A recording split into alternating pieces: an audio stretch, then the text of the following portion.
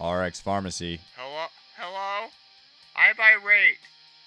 I'm an, I- I'm an irate customer. You sound irate.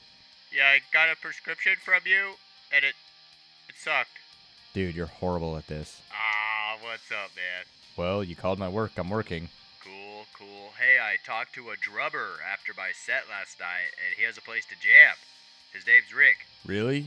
That's awesome. He's he's cool too, like like as a person. Yeah, he seemed way cool.